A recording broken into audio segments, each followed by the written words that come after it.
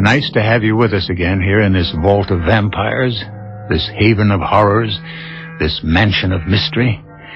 For within these halls today, we're going to share an experience of chilling proportions. That of babysitting. Now, I don't really mean babysitting since our young charge is 12 years old, hardly a baby, but you know what I mean. Taking care of a 12-year-old can be more trying than taking care of an infant, particularly such a child as this.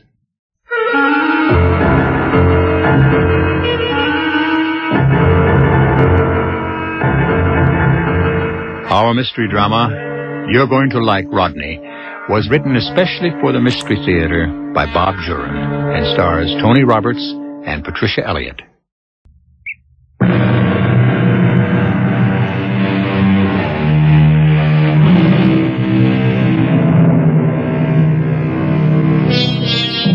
It's sometimes difficult for childless couples to put up with the activity of youth. They lead a life where everything is orderly and comfortable. The intrusion of a child, even for a visit, can upset the harmony of their settled lives. So it was with a certain amount of concern and yet a feeling of compassion that June and Ed Carpenter in San Diego, California, read the letter that arrived from Edgar's brother, George, a New York attorney. Uh, Helen and I are asking a favor. Uh, for the past two weeks, we've been caring for a young boy of 12. A tragic case. His parents were killed in an automobile crash last month. He's been living with his grandmother, a neighbor of ours, and only two weeks ago, she died from a fall. We're taking care of him until I can settle things. He seems to have no one else. Oh, what a trial for the child. It certainly is. Uh, we're asking if you and June could possibly take care of him for us the second week in July. Uh, we're committed to attending the International Bar Association convention in Switzerland and can't take him with us. I realize you've not had much experience with children, but being my blood brother does create a bond of sympathy. Rodney is a special child, and I think you and June could give him the care he needs while we're away. It's only for a week. I wonder what he means by special. Hmm. Bright, probably. He finishes, uh, it will be a great personal favor to Helen and me, and I know the best for Rodney. Let's hear from you. Affectionately, George. Well, what do you think? Well, there's no one around here for Rodney to play with. He'll be terribly bored. Well, July's our slowest month at the office. I mean, I could take more time off. I could take him to some Padres games, uh, the zoo, the beach. I really feel we should help. Of course. We can keep him amused. I don't think it'll be too bad. Agreed? Yes. And Mrs. Nathanson will probably come in to sit when we go to the club. She's always talking about her grandchildren. Well, then I'll tell George we'll take Rodney. We may even get to like him. Oh, you're going to like Rodney, Ed. You can't imagine how much Helen and I appreciate it. Well, we're glad to do it, George. Uh, listen, you said Rodney was a special child. What's he like? What does he like to do? Well, he's sort of the quiet type, you know. Hasn't been much trouble for us. We'll keep him indefinitely until I can settle things with the estate. Uh, there don't seem to be any other relatives. It's strange. You said his parents died in a car accident. Yeah, and I've tried to locate other family members, but there just don't seem to be any. His grandmother was apparently the only one. Who took him to her when the parents died? I can't learn that either. I was in touch with some of the neighbors in New Hampshire where his parents lived, but apparently they'd moved in only a few weeks before the accident, and no one knew anything about them. Well, the poor kid has had a time of it. We'll take good care of him here. We'll put Rodney on a plane to San Diego, and you can meet him at the airport, okay? Okay, we'll be ready. Thanks a million, Ed. I know you're going to like Rodney. Oh, I wish we'd left earlier. The plane's in already. Oh, so the kid'll wait. It may upset him not to find us there. Look, look, we're in time. Uh, they haven't opened the gate yet. I'm glad George sent a picture of him. At least we know who to look for. Well, there probably aren't many 12-year-olds traveling alone on this flight. We'll spot him. Oh, here they come now. Hey, there he is. Rodney, Rodney? here we are. Oh, he sees us. Over here. He- He's a lot smaller than I expected. He looks awfully frail.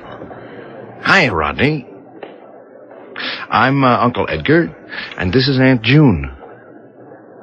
How was the flight? Fun? Would you like a cold drink or, or something before we start home? Well, at least he shook his head no. Oh, He's probably terrified from the long trip alone, and we're total strangers to him. Well, when he sees his room and the swimming pool, he'll brighten up, won't you, Rodney?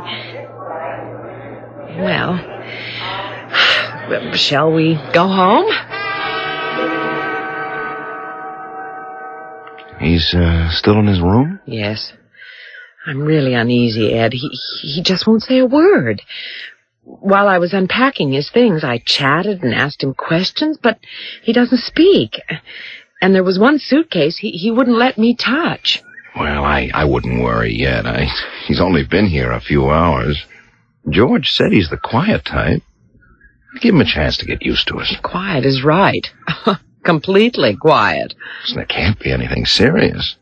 I mean, George would have told us if he had a problem.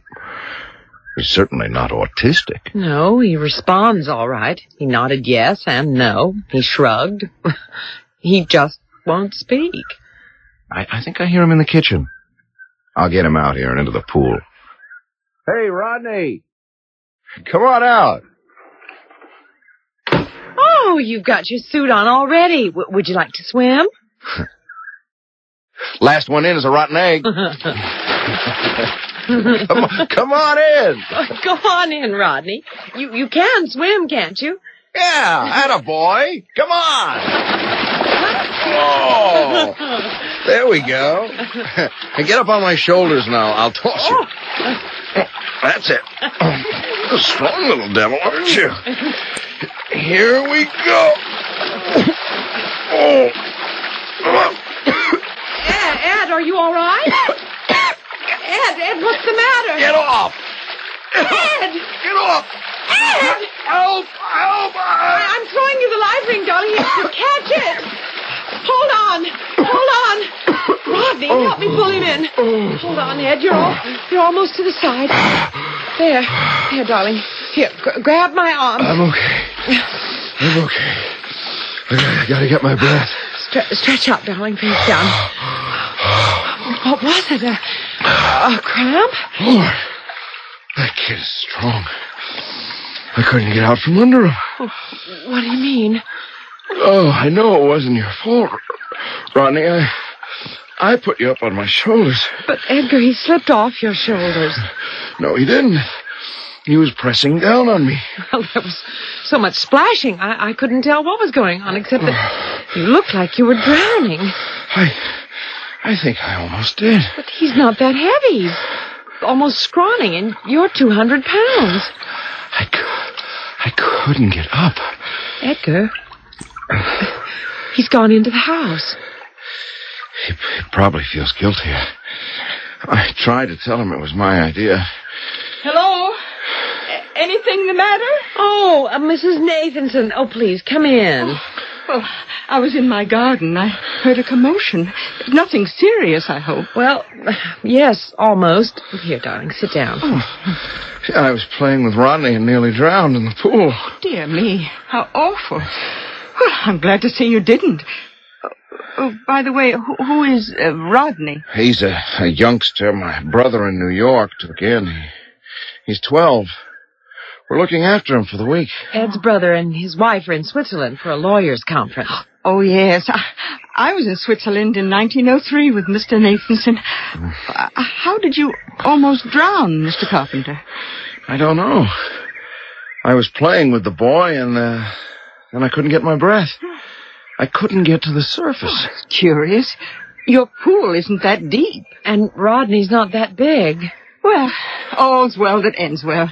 I'll get back to my roses. Oh, um, Mrs. Nathanson, uh, since you're here, I, I wonder, could we call on you to sit with Rodney, well, one or two nights a week when we go to the club? Oh, but of course, I'd be delighted. You know, my grandson, Arthur, he's a 14-year-old. He called me the other day, all on his own, and it was Would just... you like some iced tea, Mrs. Nathan? Oh, no, dear, thanks. I must get back. Uh, glad it was nothing serious. Just call any time. I'll be glad to sit with Rodney. Thanks so much. Well, I'd better go in and see him. Yeah, he probably feels that it was his fault. I'll talk to him. We've got to make him understand he's not to blame.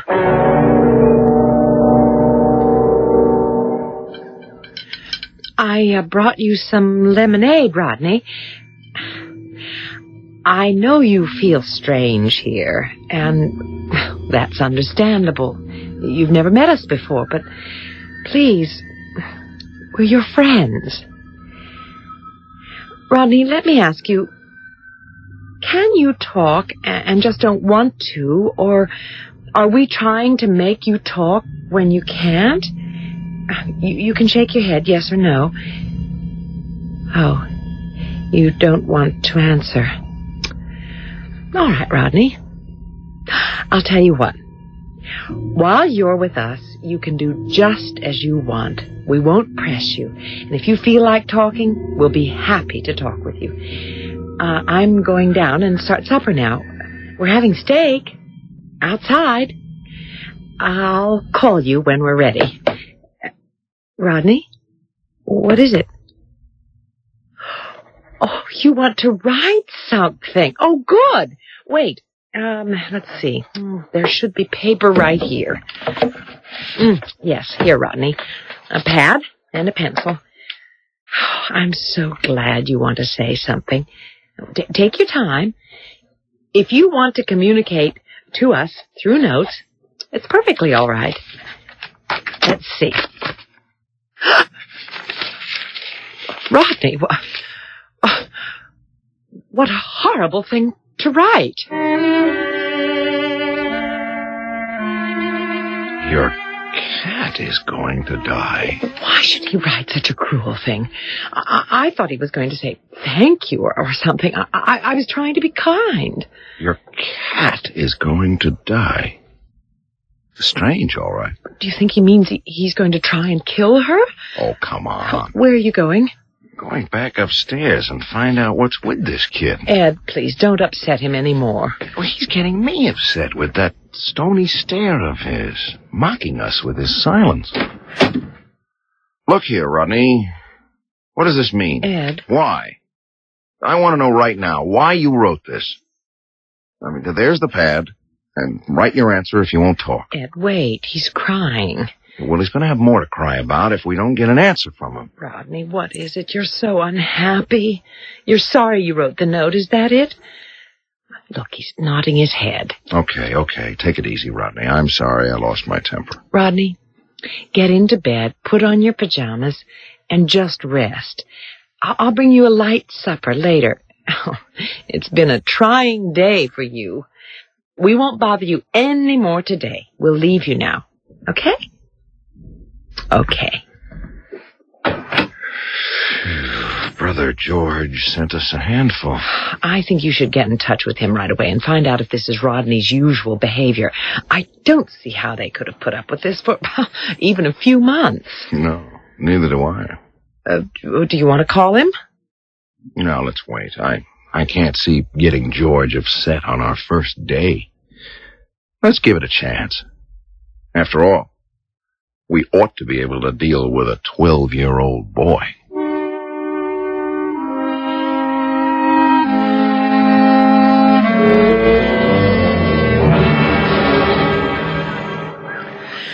Well, maybe we were wise to wait. He's been a little better the past two days. Yeah, he's getting used to us. If only he'd talk. He hasn't even written anything since that, well, that first note. Maybe he hasn't anything to say. We do the talking, and all he has to say is yes or no. Ed, have you ever looked deeply into his eyes? No, no, not really. I have. Several times. I felt as though I were staring into a deep well. An abyss. Into nothingness. Oh, come on. Mr. Carpenter. Mrs. Carpenter. Oh, what's the matter, Mrs. Nathanson? You're all flushed. Here, here, sit down. Oh, no, that's all right. I, I don't know how to tell you. I'll just have to say it. Under my porch this morning, I found your cat, Sylvester, dead.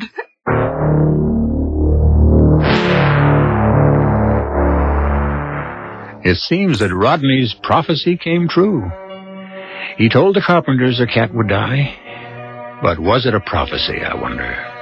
Or did Rodney have something to do with it?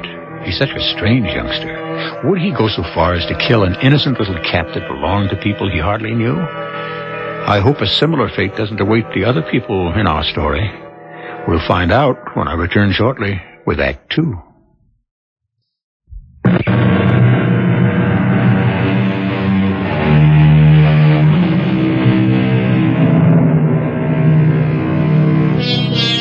Overnight company can indeed be troublesome now and then, particularly when the company is a strange child who writes threatening notes.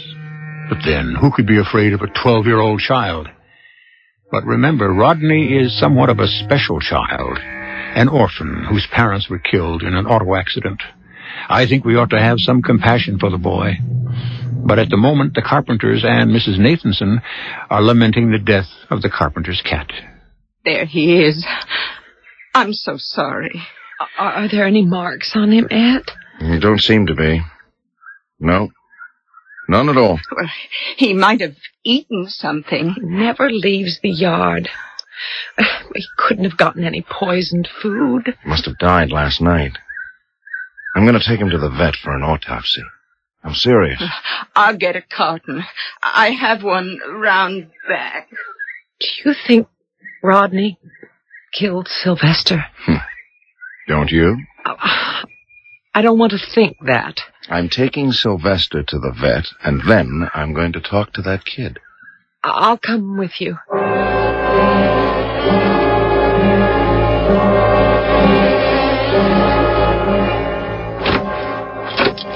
I don't know what to say to him now. You heard the vet. No apparent cause of death. How could Rodney be responsible for that? Ed, we've got to stop blaming him and being suspicious of him. He needs some kindness. Maybe you're right. Oh, look. What's that on the coffee table? A paper. It's his handwriting. Look at this. I told you so. That evil little devil. Rodney? Rodney? Come down here right now. What are we going to say to him? Plenty. He's going to be around here for the rest of the week. He's not going to get smart with us. This has got to stop. Rodney? Come over here. Right here. Rodney, I don't know what you meant by this note. You didn't kill Sylvester. And writing a note like this is cruel. Don't let me see another note like this in this house again. You understand? Look, he's going to write something. Well, good. Let's see what you have to say for yourself. He's not saying much. Two words. Well, at least we're getting something out of him. Well, what did he write? What did I just get through telling you? Ed, what are you doing? You hit him. I'll teach this. But what did he write? Here. You're next. You go to your room. Right now. No 12-year-old is going to intimidate me. Go on up, Rodney. He's a brat we're stuck with for the week, and he's not going to scare me with those threats. Ed, please calm down. The, the child's just being belligerent. You- You're going to antagonize him even more. You're not afraid of him, are you? Uh, I don't know.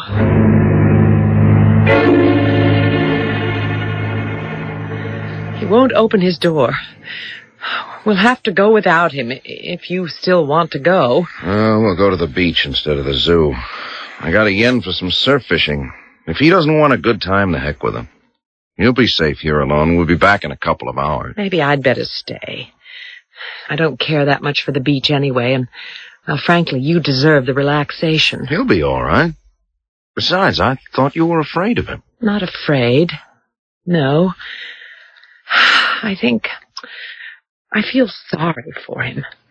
He seems a terribly disturbed boy. Okay.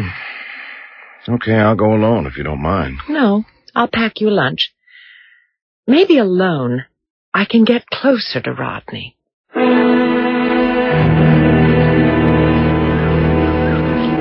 Hello? May I come over? Oh, please do, Mrs. Nathanson. Oh, well, I saw Mr. Carpenter drive off with his fishing gear. Uh, tell me, what did you learn about poor Sylvester's death? The vet couldn't say. Just no apparent cause. Well, that's strange, isn't it? Oh, but it does happen, I guess. Oh, by the way, how is the young man who's staying with you? I haven't seen him at all. He's all right. He he stays in his room a lot. Oh, well, that doesn't sound natural for a 12-year-old boy. Is something the matter with him? Well, we don't know. He, he never speaks. He, he writes the most ghastly notes. There seems to be something disturbing the child. Oh, well, what kind of notes does he write? Well, the first said our cat would die. Oh, And then he left one saying, I told you so. oh dear me. And then, right in front of us, he wrote, You're next. Oh, well, maybe it's his way of attracting attention. We, we don't know anything about him. Could he have killed Sylvester? Somehow? That doesn't seem likely. Uh, What does Mr. Carpenter think? Well, he thinks Rodney's just a brat. He doesn't take his notes seriously. Oh, well, the child's certainly not going to kill anyone. He's just going through a stage. Oh, oh, excuse me. There's the phone. Oh. Stay here. I- I- I'll be back in a minute. Yes.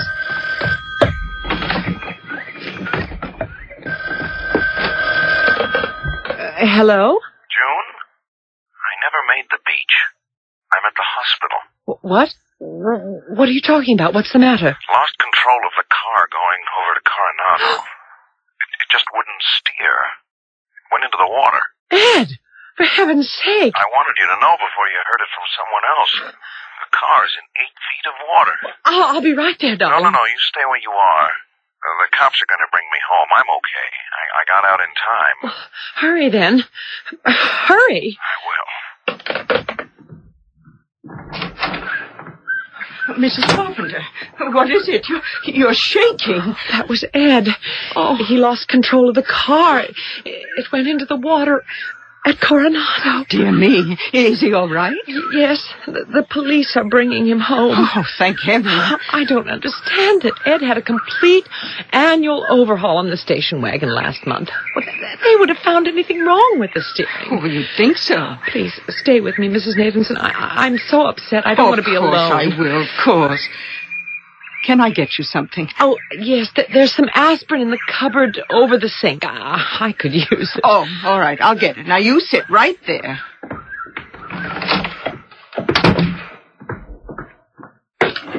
Oh, this is curious. Huh.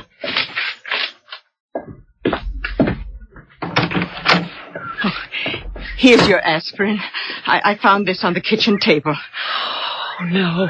It says missed. Uh, just the one word, missed. It's his writing.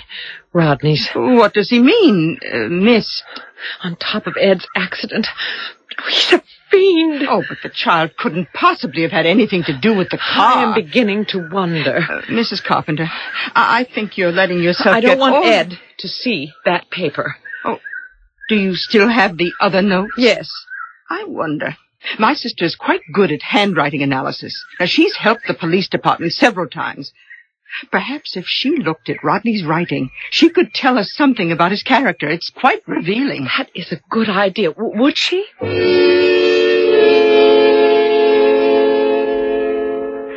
And how is Mr. Carpenter? That accident yesterday shook him terribly. He's staying in bed today. Ah. We have to go to the club dance tonight. He's the president. We can't miss it. Oh, I wish we could cancel. Oh, now don't worry. Everything will be fine. And don't forget, I'll be sitting with Rodney. But I really came over to tell you what my sister says about his handwriting. Oh, yes, what? Well, she couldn't be as thorough as she usually is because the letters are printed, not written. Yes? Of course, I didn't tell her a thing about who Rodney is. Uh, she didn't even know he was a child. What did she say? Now, this is so curious. She said she got the impression, just the feeling, mind you, that the person was a very old man. An old man? Now, she admitted it was just a feeling. But, but, but an old man? What did she say when you told her Rodney is only twelve? Uh, she looked rather strange and said, I'd never have guessed it. Hi, hi. Couldn't stay in bed another minute. Oh, how are you feeling, Mr. Carpenter? Uh, shaky, but okay. Hey, those look like Rodney's notes. They are, Ed. Mrs. Nathanson's sister analyzed his handwriting. She's an expert. Oh, you didn't tell me about this. Oh, well, she did it last night. I just brought them back. And what did she say? She thought that Rodney was an old man. What? Well, she couldn't tell much because the letters were printed. No. Mm-hmm. Did June uh, ask you about tonight, Mrs. Nathan? Oh, yes. I'm happy to come over. I, I gotta go downtown and see about the car. I'll be home around two. Please, drive carefully. I still feel uneasy with that child in this house. Well, he's troubled, and it's understandable after all he's been through. But really, Mrs. Carpenter, I hardly think he's dangerous.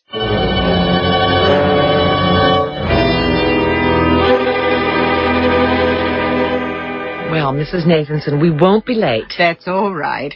Enjoy yourselves. Heaven knows you deserve it. I wouldn't even go to this dinner dance at all with Rodney here, but as president of the club, I have to be there. Uh, you know the club number if you need us. Of course. But nothing's going to happen. If Rodney does come down, maybe he'd like a game of checkers. Don't have to talk to play that. Let's go, June.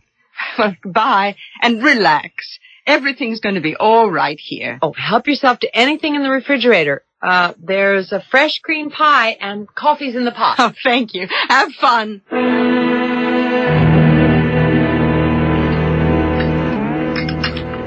My, that pie does look good. Oh! you startled me. You, you're Rodney. Well, I, I, I'm glad to meet you at last. I'm Mrs. Nathanson. You're just in time for some delicious cream pie. Uh, you, you don't want any? Oh, I'm surprised. I thought all twelve-year-old boys had an empty pit. I, I, I wish you, you wouldn't stare at me like that. You're, you're going to, you're going to uh, write something? Oh, uh, good. Uh, let's see. Uh, do I like butterflies? Oh, why, yes. I think they're very beautiful. Uh, oh, another note. Would I like to see your collection? Oh, I'd love to, Rodney. How many do you have? Oh, it's upstairs. Okay. Lead the way.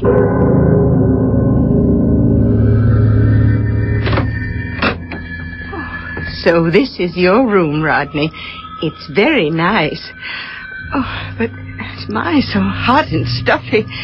Oh, dear me, let's open a window. It, it's midsummer and you have all the windows closed. There, that's better. Now, let's see your butterflies. Well, aren't you going to show me your collection? Rodney, why are you staring like that?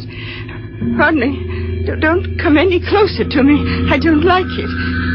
Rodney, what's the matter with you? Rodney!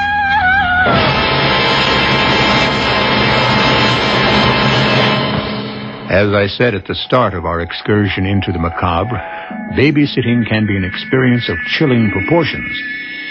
Rodney is indeed a handful, and he still has two more days to spend with the Carpenters. Frankly, I'd take him over my knee and give him what he deserves. We'll find out what else Rodney is up to when I return shortly with Act Three.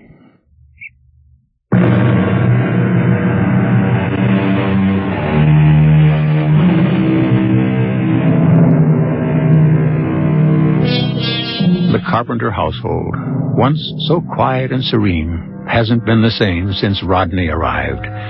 The Carpenters expected that the routine of their lives would change when they agreed to take care of the child for a week, but never in their wildest dreams did they imagine just how drastic the change would be. At the moment, they're trying to enjoy the dinner dance at the club without much success. Edgar, c- can't we leave? I'll only be another hour. What's going to happen? I don't know. I, I just would feel better if we were back home. I call if it'll make you feel better. Talk to Mrs. Nathanson. I think I will. Uh, but do you think I should, well, warn her? Now, don't scare the poor woman. Rodney's certainly not going to threaten her. I'll be back in a minute.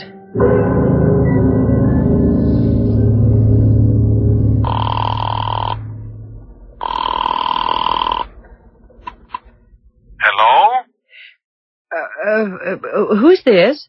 Well, who is this? Oh, excuse me. I, I must have the wrong number. Wait a minute, ma'am. Who, who, who did you want? The Carpenter residence, uh, Mrs. Nathanson. Who are you? I have to know who you are, ma'am. Well, I'm Mrs. Carpenter. Mrs. Nathanson is babysitting for me. Oh, oh. Uh, I'm police, Mrs. Carpenter. Police? Officer Dugan. What is it? Good Lord, what's happened? An accident, Mrs. Carpenter. Can you come right away? Y- Yes, yes, yes, right away.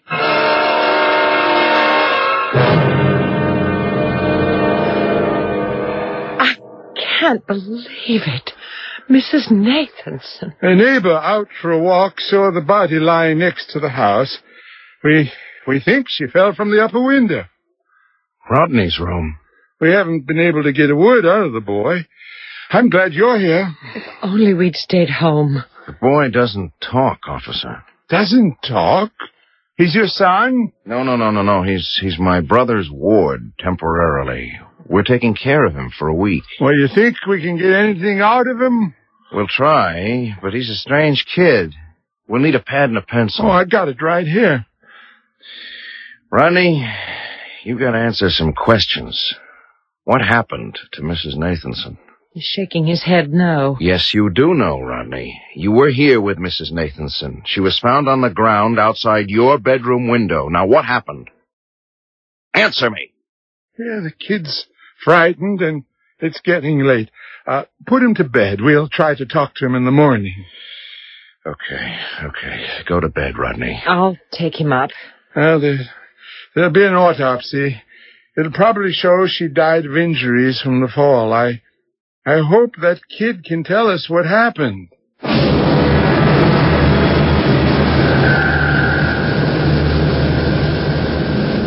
Ed. Ed, wake up. Huh? What is, what's the matter? Ed Rodney's just gone downstairs. What time is it? Uh, four o'clock. Well, I'll get up and see what the kid's up to. Rodney? I'll come with you. Rodney, where are you? He can't answer. We'll have to find him. I don't trust that kid wandering around the house. You know, he's liable to come at us with a butcher's knife. Ed. The front door. He went out. Turn on the light. Why would he be going outside? Rodney? Get in here. Can you see him? No. He might be running away. Huh. We should be so lucky. Uh, Rodney, we know you're out here. Now come on in. Right now. I don't like this. I- I'm getting frightened. You go in. You're cold. Uh, I'll find him. I, I-, I don't want to be alone. She could be hiding anywhere. Shrubs. Uh, The front door. little devil tricked us. He doubled back inside. Come on. What's he trying to do to us? Rodney! Rodney, come here. Right here, right now. Oh, this is giving me the willies. He's deliberately trying to bait us. I'm not going back to bed until I know where he is. Well, we know he's in the house. Do we? And we heard the front door slam when we were outside. That's all we heard. How do we know he actually came in? Well, when you put it that way, how do we know he actually went out?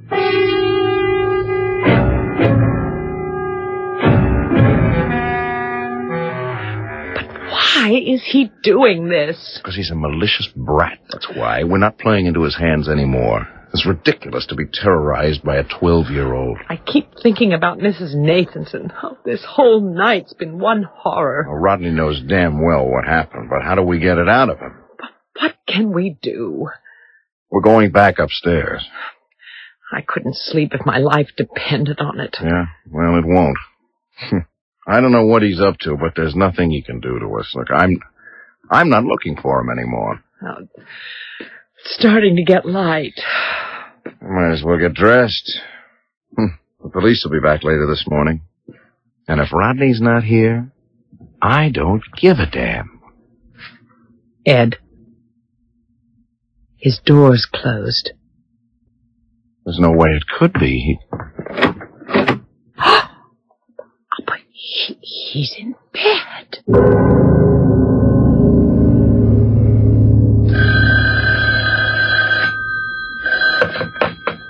hello? Ed, it's George. How's it going? Huh, you should ask. Where are you? New York. Flew in last night, brought a visitor from England back with us. Listen, how'd you get along with Rodney? Why didn't you tell me he was a little fiend? What do you mean? Well, he never said a word the whole week. Oh, I know, I know. He writes notes to us, too. That's only half of it. Well, anything happened to you? Yeah, we had a tragedy. Our neighbor was sitting with Rodney when, uh, when we went to the club. She fell out the bedroom window. What? And our cat died. Sylvester? Hey, you have had a week. Yeah, and it all happened with Rodney here. Come on, he's just a kid. You don't think... I can't get into it now, George, but the, the minute he gets off that plane, find someplace else for him. Ed, what's the matter with you? I'm telling you, the minute he gets off that plane, take him to some welfare agency or whatever. Sure, Ed, sure. You put him on the plane tomorrow. It's flight 704. With the greatest pleasure. Okay. I'll meet him at this end. You're welcome to him. I'm sorry you think he caused you so much trouble. Anyway, I appreciate your taking care of him. I owe you one, Ed. Forget it. I'm trying to. Okay. I'll meet him at Kennedy tomorrow. Yeah. Okay, George. Bye. Oh. Rodney. I didn't hear you. You're going back tomorrow. Hmm. You want to know something, kid? I still think you pushed Mrs. Nathanson out the window. And I still think you had something to do with the cat. Hmm. No response, huh? I can't prove it. I wish I could. Come here. Closer. Yeah, June's right. There isn't anything behind those eyes of yours. What are you? Well, I don't mind telling you, kid. I'll be glad to see you off tomorrow.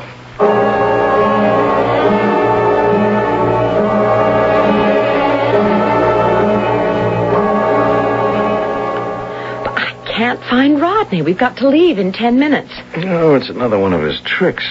Like Thursday night. If it's the last thing I do, I'll get him on that plane. Maybe he's afraid to go back. Oh, he's not afraid of anything. I'll put his stuff in the car. We'll find him. After all that's happened, I still feel kind of sorry. He seems such a lost little boy. Lost my foot. Oh. Why, there he is. He's sitting in the car. I never thought of looking there. Good. He's as anxious to get out of here as we are to see him go. Okay, Ronnie, You're on your way.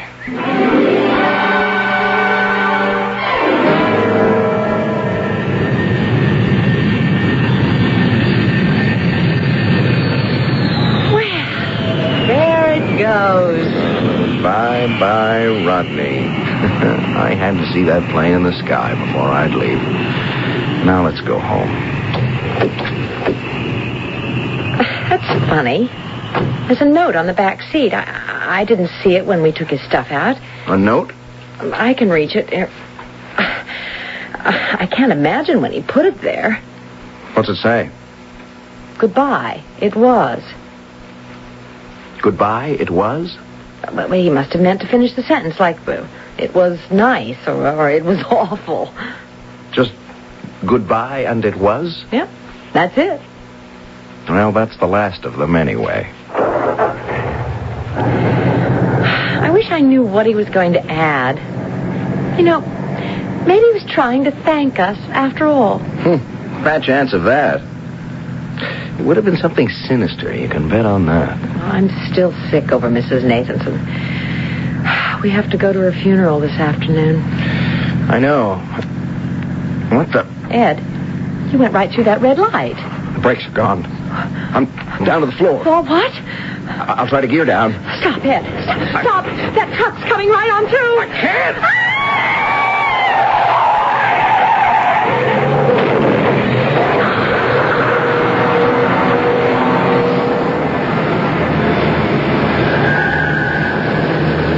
Well, I'm glad you could come to the airport with me, Mrs. Parker. Helen hates the trip. Oh, well, I'm here to see New York. I want to see as much as I can. Passengers are coming through the gate now. There. There he is. Hey, Rodney. Over here, Rodney. Rather a pale young lad, isn't he? Well, I feel sorry for him. I hope they find him a good home soon. His parents were killed in a car accident. Oh. He was living with his grandmother until she died from a fall. How tragic. And it's nice of you and your wife to take him in. Rodney, I want you to meet Mrs. Parker. She's from England, and she's staying with us for a while. How do you do, Rodney? She'll be sharing your room with you. She... Oh, you don't have to be embarrassed. Mrs. Parker has grandchildren older than you. Just think of me as a grandmother. I'm sure we'll be good friends. Won't we, Rodney? Oh, I think so, Mrs. Parker. You're going to like Rodney.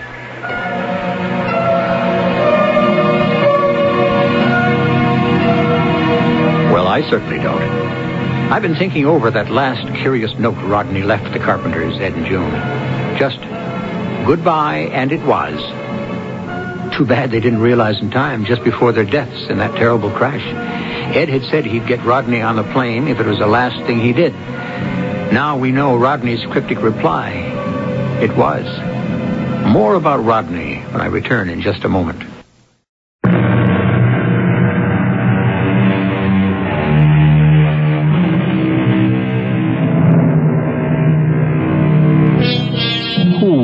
Rodney?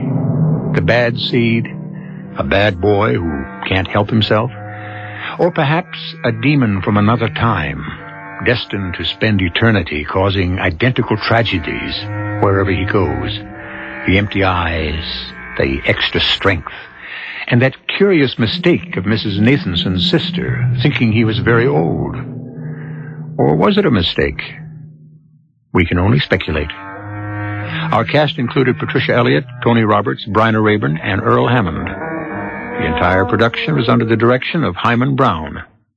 This is E.G. Marshall inviting you to return to our Mystery Theater for another adventure in the macabre. Until next time, pleasant dreams.